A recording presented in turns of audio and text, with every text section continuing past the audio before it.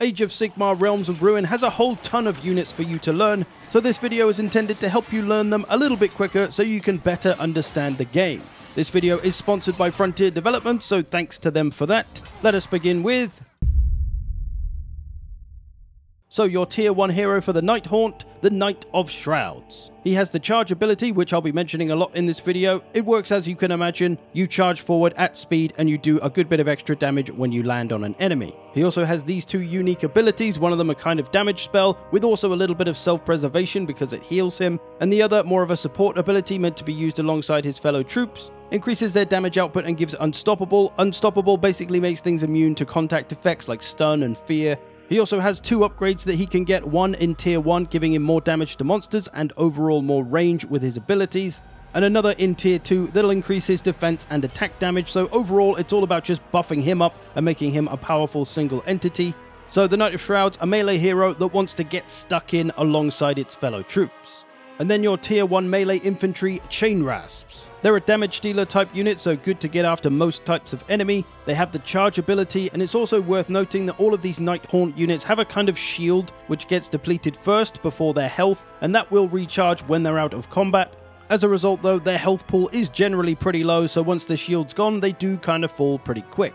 For their upgrades, they can have Wave of Terror, which increases damage with each nearby unit with Wave of Terror. There's a bunch of other units that can get Wave of Terror as well and do different things. So that's going to be handy if you group up your Chain Rasps. Or you can make them more of a kind of solo unit with Reinforce, which will heal them and reinforce them, which means bring their troops back to life over time. They also get affected in the Tier 2 by Overwhelming Torment, which will increase their health if you choose it.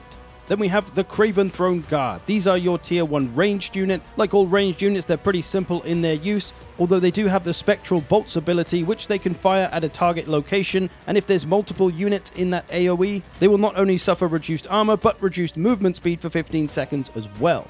They can be upgraded in the tier 1 with Wave of Terror, but it increases attack speed instead of damage like the Chain Rasps, and you can intermingle those with each other so they can all buff each other. They kind of want to work together if you do take that, or you can increase their individual performance with a boost to attack damage and damage versus heroes. They're also another unit that's affected by Overwhelming Torment, an increase to their health. And that's not all, they also get a tier 3 buff potentially, which increases their max unit size, so ultimately their damage output. Very nice. Your tier 2 hero, the Guardian of Souls. This guy is basically your healer. He's also more of a ranged hero, so keep him out of the melee combat. He'll do his ranged attack. This is his heal ability, and that's just going to be useful in any kind of strategy or army that you bring. He can also get a tier 2 upgrade, Magical Domination. A passive ability creates a silencing aura that prevents enemy ability use, so that's pretty damn strong. Or you can just get more DPS with Spirit Drain, which increases his attack range and his damage against elite enemies. And if all that wasn't enough, he can also be upgraded in the tier 3 to be able to summon a Mourngul. It is a temporary Mourngul, it will die after like a minute or so, but still very nice, a great support hero. Then you have the Hex Wraiths. These are a cavalry type unit. They have three very useful abilities. A charge attack that will slow and damage enemy units that they pass through, they also have an ability that increases their movement speed and makes them hidden or invisible for 30 seconds so they can be a sneaky stealthy unit. And they have an ability that will cause fear to any units that are nearby, basically scaring them and making them run away. Very handy if you want to clear units off a point or maybe if you've got friendly units in bad matchups you can save them from. So a lot of utility and versatility with the Hex Wraiths. In Tier 2, their charge ability can be upgraded to stun enemy units instead of slow them, and they're another unit affected by Overwhelming Torment, so you can increase their health. And then your final Tier 2 option, the Myrmourn Banshees. These are more of a defensive support unit, as they have an ability called Spell Eater which creates an aura of silence, so stops enemy abilities, reveals all enemy units, grounds flying units, and reduces non-melee damage taken by allies, so that can be useful in all sorts of ways in all sorts of places. They're also a flying unit, so they can get around the map very quickly. They can scout and reveal units much easier. Very handy to have in any army. They can as well be upgraded to be a Wave of Terror unit, this time increasing defenses instead of damage or attack speed like the other two Wave of Terror units. So very useful if you want to have them work together as a cohesive army with other units. Or you can take Diabolical Hunger, which will increase their movement speed and increase the range of their Spell Eater ability, which is just going to make that far more effective. Now onto the top tier units, beginning with the Grimghast Reapers. These are kind of like Chain Rasps, just better and stronger. They do have Reaping Charge, which works like any other charge ability, but once they've made contact, they do get a temporary aura that reduces enemy armor. So they're just going to be much better at killing all kinds of other enemy infantry. They're also another Wave of Terror unit that can increase attack speed. Then we have the Mourngul, a big monster boy great for wailing on all kinds of infantry, a little more on the defensive side though, except for its ghastly terror ability, which allows it to leap to a target location, so it will jump literally around the map. When it lands, it'll do a bunch of damage and also inflict fear on the enemy units that it hits, making them flee and run away in different directions for a few seconds. So a very nice problem for enemies to have to deal with. This unit has no upgrades. And then we have the Boat Boy, or his actual name, Ulrek the Drowner. A very strong melee hero, he has a charge ability which will damage and cause fear to units that it hits. And then these two abilities, one of them a teleport for him and ally units, which is pretty crazy, and also another one that will damage, stun, and bring down enemy flying units. So quite a nightmare for the enemy to have to deal with in many ways. Otherwise, very strong at taking on all kinds of enemies. The Boat Boy has no upgrades. Alright, that's enough ghosts. Time for some green boys. First up for the Kruleboyz, your tier 1 hero, the Killaboss. This is a melee boy who likes to charge into battle with his charge ability, as well as these two other abilities Hacker Swing, a kind of small AoE that will do damage and knock enemies flying all over the place, and all part of the plan, which will buff up your nearby infantry units in a bunch of ways. So, ideally, the Killaboss wants to fight alongside his infantry to give those buffs, but he can be buffed up in his own right with a tier 1 upgrade, Fight Like Mork, increasing his health and damage. A nice one to take early. He also has a tier 3 upgrade, which will give him a Great Gnashtoof mount, so basically a big wolf mount, which does allow him to get around the battlefield much quicker, although he does lose his hacker swing ability in the process. And then our first tier 1 infantry, the Gut Rippers, a core part of any Kruleboyz army, good for getting after ranged units as they do have that shield, but not so good against other more damage dealer type enemy units. They don't have a charge ability, but instead they have scare tactics, which will allow them to gain some extra damage and also reduce the damage output of nearby enemy units. They can be upgraded with serrated stickers, which will increase their damage against ranged units, so make them even better against those, and increase their damage to monster enemies, making them kind of an anti-large unit.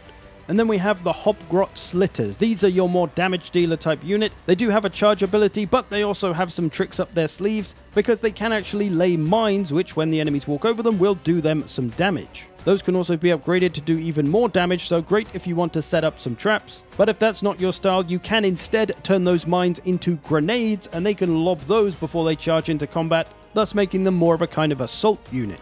And even more to that end, they have a tier 2 upgrade which will increase their damage against heavy units, just making them a much better damage dealer against more types of enemies, so some nice options with these little fellas. And then we have the Manskewer Bolt Boys. These are your basic ranged unit option, but they do have an ability called Lie in Wait, which will make them hidden and increase their movement speed until revealed, and gives them a damage and attack boost when they are revealed. So they can be sneaky boys and set up some ambushes. One of their tier 1 upgrade options is Over There, which while hidden will allow them to instantly travel to a target location, which is only a small distance, but still that's nice for getting around. Or if you'd rather keep it simple, you can simply increase their range. They also have a tier 3 upgrade to give them damage over time on their basic attacks. So nice for just increasing some damage output. And then into the tier 2 units, you've got the Beast Skewer Killbow. This thing has great range and does a lot of damage to pretty much any kind of enemy, but is very slow and clunky to move, so will need some protecting potentially. But a great choice for covering a point from distance. It also has the skewered ability which will fire a bolt punching through all enemies, damaging and stunning them, so if you see two or three units lined up, you can hit three for the price of one. It can be upgraded to either increase damage against hero and monster units, or make it do area damage and slow enemies, making it a bit more effective against infantry. So you can tailor it to your needs to deal with whatever's going to be giving you the most problems. And then we have the Swampcalla Shaman. This is your ranged hero, not so good in the melee fight. He has the Summon Boggy Mist ability, which will make friendly units hidden, and when they are revealed, they'll get extra damage and attack speed, so another means to set up some sneaky ambush plays. He can also be upgraded with the Black Pit ability, which is basically an AoE that does damage to any enemies in it, also slows them, and reduces their vision range. Or if you just like to make him stronger as a ranged hero, you can increase his damage and health. So, some options with the Shaman. And then we've got a bit more of a unique boy in the Marshcrawla Sloggoth. While he can charge into melee and just get some damage work done in that way, he does have two pretty handy abilities. Spotter Crew, which will allow you to pick an area of the map and reveal everything that's there, and Catch in Nets, which will stun and literally pin enemies in place for 6 seconds, a great way to stop enemy units getting away before you kill them, or to protect your own units from bad matchups. Possibly their most useful skill though is Crew Drummer, which will allow you to reinforce your units, which basically makes them a healer of sorts, bringing your dead combatants back to life, and also reduces the damage that nearby allies take. Or instead you could take the other upgrade option which increases defense against all damage, so just turn it into a bit of a tank. Either way, lots of utility from this bad boy. And then we have the Murknob, who is a solo boy, but not quite a hero. Good for getting stuck into the melee, but he does have an ability, Breath of the Mire Drakes. This is a very strong cone-shaped AoE sort of attack, which does a lot of damage, slows enemies, reveals any hidden ones, and shields allies. Honestly, that's his biggest sell used as a damage attack on multiple units, it'll wipe them out quick. He has no upgrades.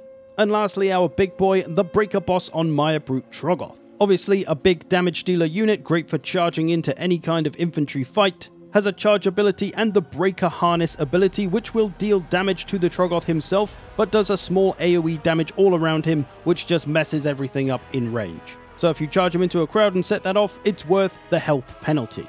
Alright, moving on to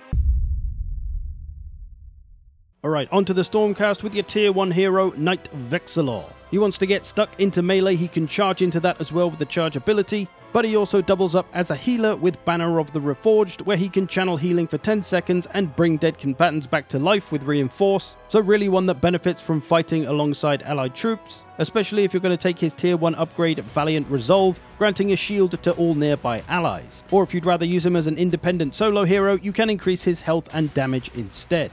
Then you have your tier 1 infantry, the Liberators. Good tanky boys, good for holding your position, not fantastic damage dealers, but more of a solid low tier infantry than most, especially because they have Sigmar's Aegis, a defensive ability that will give them a shield and armor for 30 seconds. They can be upgraded early, increasing their defense against all damage, making them even more tanky. A great choice if you want to make them a staple of your army.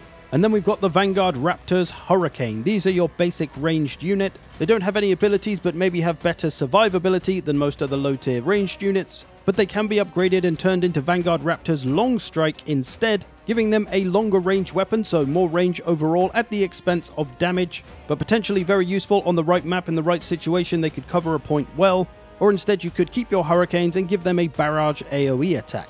Good for pumping out a little extra damage when needed. And then we have Vanguard Hunters. These are a kind of dual role unit that do have a short ranged missile attack and can get into melee and do well there, so you can use them either way. They do have the charge ability, so they can do some extra damage in melee with that. And they have the Astral Compass, which will allow them to reveal areas of the map so they can see what enemies might be lurking there, for their upgrades, one of them can give them the ability to go hidden and increase their movement speed, so making them into a stealthy unit, good for sneakily taking points or maybe sneaking up on some artillery to get rid of it, or you can make them into more of a frontline unit, increasing their defenses against all damage. So a pretty versatile unit overall. Into the tier 2 units, first off with Prosecutors. These are your big damage dealer unit. They can also fly, so great mobility for getting around the map. They also have a charge ability that they use from the air to do big AoE damage when they land, and they do have an air to ground attack Celestial Barrage, dishing out some damage and slowing units in a small AoE. So lots of damage to dish out in all kinds of ways with these boys. They can also be upgraded with defense to make them even tougher. Nasty lads. And then we have the Evocators, your more tanky support unit. They can get stuck into melee, but really want to do it alongside other troops because of their empowering aura ability.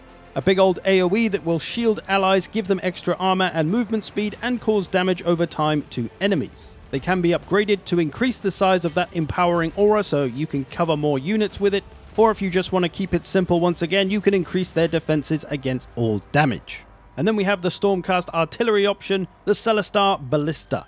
Very similar to the Killbow, it has that good long range, will damage everything pretty well. Very slow to move around though and might need some protection if things go after it.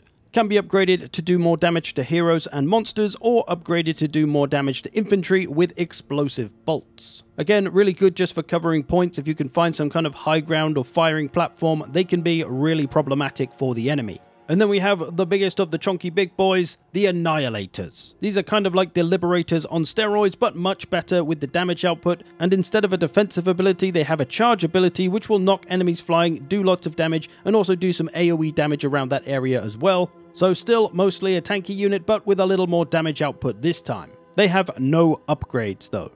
And then we have the Stormdrake Guard. It's basically a big old dragon, great damage dealer of course, it's flying so it can get around the map quickly. It has a charge attack from the air as well, which knocks things flying and does lots of damage. It also has a couple of breath attacks of course, so you can do some fiery AoE damage. So just a great unit all round, great for destroying your enemies wherever they may be on the battlefield. It has no upgrades.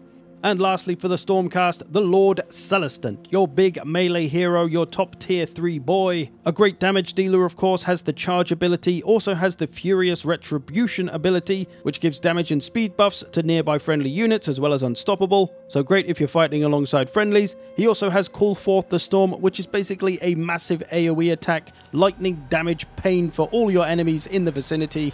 So overall, the Lord Celestant, just another means of putting out a lot of damage. For the Disciples of Tzeentch, our tier 1 hero, the Magister, a ranged hero, wants to stay out of melee combat using that ranged attack preferably, has the Gift of Tzeentch, a cone-shaped AoE damage spell that will pulse and damage enemies every time, but also heal allies if they're caught in it too, so a great support and damage ability. Can get an early tier 1 upgrade to increase basic attack damage and range, or if you want to lean more into that support ability, you can increase the healing and damage done by that Gift of Tzeentch ability so a good hero in multiple ways from ranged, but a bit squishy and vulnerable up close. To help with that though, there is a tier 3 ability that will give the Magister a Disc of Tzeentch, allowing them to fly and get around the battlefield more quickly or simply get themselves out of trouble. Then you have your low tier infantry, the Kairic Acolytes. These are a damage dealer type infantry, they have a charge attack, they may be a little bit more on the squishy side generally, but they can be upgraded to have a ranged attack, so pushing them into the dual role purpose. A little bombardment attack with magical arrows, so you can do some damage with that before you charge into melee to help them survive a little better. You can also get a tier 3 upgrade to that Sorceress Bolt spell, increasing the amount of bolts and the area effect and damage so they can be useful in both melee and at range. And then your other tier 1 unit, the Horrors of Tzeentch, beginning with pink horrors, which when they die will of course turn into two blue horrors, and when they die they'll turn into brimstone horrors, which will explode in the enemy's face for a final bit of damage. They are your ranged unit choice, however, though, so preferably want to be doing that, but they can get into the melee, although they're not going to be the toughest there, and do expect to be going through them because they cannot actually be healed and reinforced, so sometimes it's not worth retreating them. They can be upgraded at tier 2 to increase their attack range, allowing you a little bit more space between you and the enemies you're firing at, or you can increase damage of both ranged and melee attacks, so it depends how you want to use them. Potentially a bit more of a skirmishing missile unit. And then we have the Tzaangors, your slightly more tanky infantry choice. They can put out some damage, but mostly useful for being a holding unit and looking after those points. No abilities to speak of, so a fairly simple unit, but they can be upgraded at tier 2 to increase their movement speed and attack damage, making them a little bit better of a response unit. Or if you want them to be even better at holding points, you can give them Destined Mayhem, which will make them unstoppable and give them more defense, so they'll just be a little bit more tanky and hard to shake. However, this only works if they're within range of a hero unit. So with the Magister, for example, they could work with them, they could protect the Magister, and they can do their ranged attacks, while the Tzaangors hold things off. And then another tier 2 unit, the Screamers of Tzeentch. These are another damage dealer type unit. They can fly so they can get around quickly, they can scout, they can look for enemies. They also have slashing charge, which is an aerial charge ability. That'll do some damage and reduce enemy armor, helping them be a bit more of an effective damage dealer. They can be upgraded to gain a passive ability that will damage and slow nearby enemies. So again, more damage output with that. Or you can have Wailing Cry, which will cause fear, silence, and reveal nearby enemies. So a bit more utility with that Fear and silence especially can be very useful in the right situations. And then we have the Flamers of Tzeentch. These are a ranged unit primarily, but they're not totally awful in melee. They do have an ability called Bounding Warp Fire, which allows them to jump to a target location, leaving behind a burning AoE of flames, damaging any enemies caught within it, so a good way for them to get to safety. They can be upgraded to increase their attack damage and range, making them a more effective ranged unit, or you can grant them the Touched by Fire ability, allowing them to summon a Warp Fireball at a target location, so more damage dealing output from that. Overall, your stronger ranged choice than Horrors. And then we have Tzaangor Skyfires. These are a ranged unit on discs, so they can fly around, use a long range ranged attack, so they can dish out plenty of damage with that. They've also got the utility of flying, being able to get around quickly and spot units. So a great defensive turret type unit, if anything. They can be upgraded at tier 3 with Judgment from Afar, which will allow them to monitor a target location and fire upon enemies that enter that location, so basically a kind of Overwatch. Further adding to them being a nice defensive unit. And then we have the Ogroid Thaumaturge. This is another dual role type unit. He's got a ranged attack, can do some good work with that, but he can also get stuck into melee. He has Mighty Rampage, so he can charge in, but he also has a magical AoE ability where he will summon arcane tendrils out of the ground, which will damage and slow enemies, and also recover health for him for every enemy he hits. So plenty of versatility from this big boy. He also has no upgrades. And lastly, for the Tzeentch faction, the Lord of Change, aka Big Bird. He's so big I can't even fit him in the shop properly, but he's going to be a strong melee hero with lots of potential damage to be done. He has these two abilities, Infernal Gateway. This is a massive AoE that does an absolute ton of damage over time. Anything stuck in this is probably dead. And then he has Rod of Sorcery, which is basically a small AoE ranged attack, good for dishing out even more damage. So like all the toppest of top tier units, he's just an absolute force to be reckoned with. He has no upgrades. So there we go, all the units in base game Realms of Ruin. I hope you've enjoyed this, thanks for watching, I will see you in the future.